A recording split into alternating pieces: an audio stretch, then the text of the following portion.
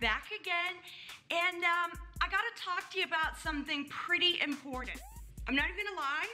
Uh, I'm not even gonna lie, everybody has been holding out. Everybody has been holding out about what they think about when they create, you know, visually appealing, you know, really, really hot aquascapes. It turns out there's a secret sauce there's a there's a secret sauce about how people make you know visually appealing sexy aquascapes and uh, you don't need an artistic eye or Takashi Amano talent. If you can glue rock A to rock B, you can create a sexy aquascape too. Okay? You know why? The secret sauce is formulaic. I mean, really, it's actually a mathematical formula.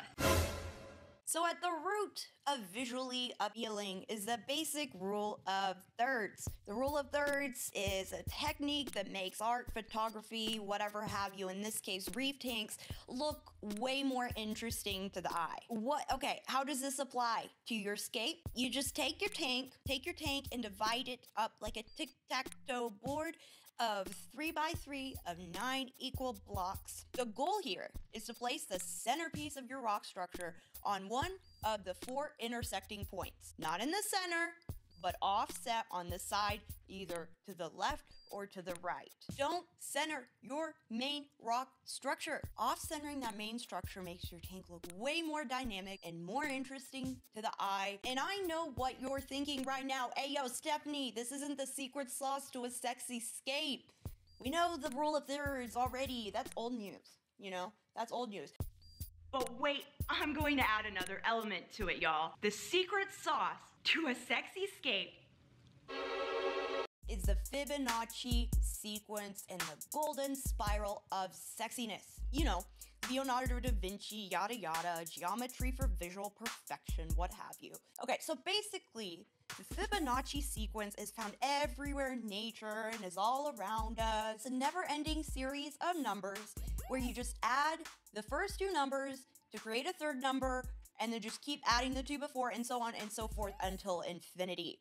So it plays out to be like one, one, two, three, five, eight, and so on and so forth. Kind of like, you know, when you when you when you breed bougie designer clownfish. You know, you you have one clownfish, you have one bougie clownfish, and then you add, you know, a male bougie clownfish, and then they end up making another bougie clownfish, and then there ends up being five bougie clown. You know what? It's just it's this weird number code that that translates to beauty. Okay, bear with me. Bear with me. So, the Fibonacci sequence drawn out is the golden spiral sexiness that I keep telling you guys about. By drawing out the first numbers of the Fibonacci sequence, you know, one by one, one by one, two by two, three by three, five by five, and eight by eight, creating an arc from each corner of the square to the other, acknowledge the spiral because this spiral, this spiral right here is exactly how you're going to make the dream aquascape.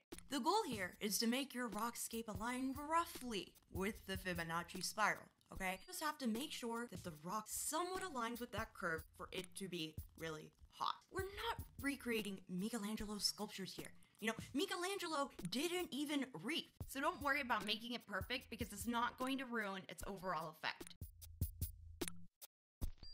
The spiral can be flipped vertically.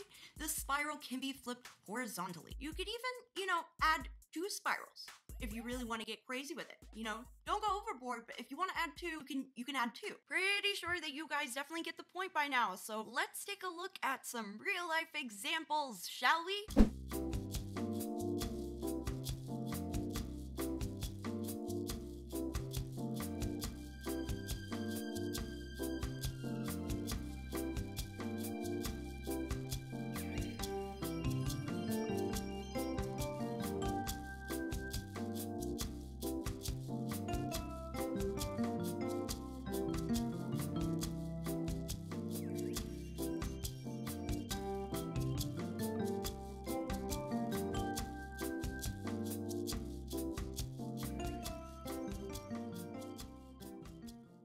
I wasn't making this stuff up. The golden spiral of sexiness is a really good tool for when you're thinking about how to design your aquascape. It's a really great starting point for when you start to visualize how your scape is going to be structured and what kind of visual effect you want to give off. I want to note how the rock never exactly followed the sexy spiral perfectly. The sexy spiral is essentially just a guideline for the focal points of your tanks. So basically, it never has to be perfect as long as when you first look at your aquascape, your eyes are drawn to the sexy spiral or spirals as the main key features in your aquascape. Huge shout out to my favorite all-time saltwater aquascaper Waterlife for letting me use their pictures in this video to explain the sexy spiral. You guys should definitely check out their Instagram when you have the chance because this is just this is just raw aquascape talent right here. You guys are so sweet. It makes me so happy to hear that you guys love my tank so much. Except Mario. Ouch. So ain't that the truth? I don't think there's anything Cat loves more than a sexy acro shipment.